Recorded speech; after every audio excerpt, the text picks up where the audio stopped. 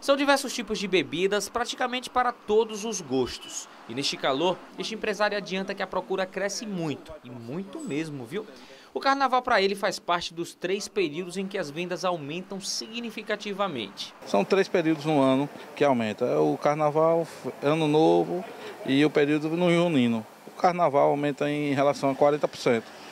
Os preços continua, permanece o mesmo, a gente não muda, só se tiver alteração mesmo, preço de fábrica. Em pleno verão, os ar-condicionados e ventiladores também são parceiros aliados para combater as altas temperaturas e cada vez mais ganham espaço e destaque nas lojas. Outro segmento que tem aproveitado a estação é o comércio de roupas. Michelle é um bom exemplo de história. Ela resolveu recentemente entrar no mundo de vendas online e, na chegada do verão, investiu ainda mais nas roupas moda praia. O resultado foi 80% a mais nas vendas, acredite, viu?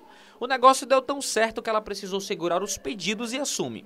Não tem sentido a crise que tanto ouve falar por aí. A crise para a mulher eu digo que não existe.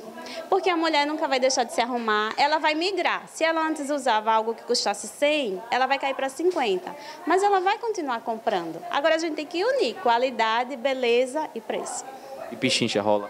Rola também, claro, sempre tem.